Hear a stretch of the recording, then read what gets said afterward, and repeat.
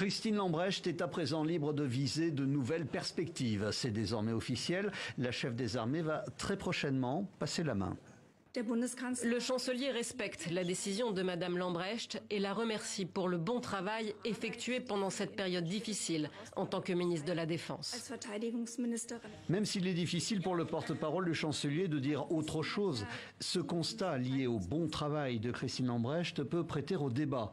Les adversaires politiques de la coalition et la presse ont eu la main lourde sur les gaffes de la ministre.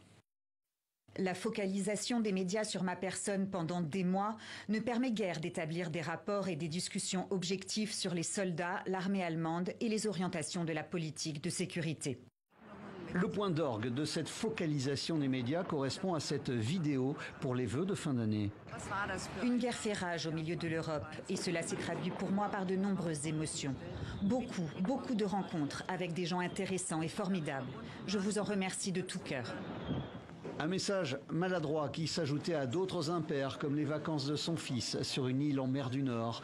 Il avait posté cette photo sur Instagram à l'intérieur de son moyen de locomotion, un hélicoptère de l'armée à plus de 5000 euros lors de vol. Christine Lambrecht était par ailleurs critiquée pour n'avoir pas réussi à moderniser l'armée allemande, malgré l'allocation d'un fonds spécial de 100 milliards d'euros créé après l'invasion en Ukraine.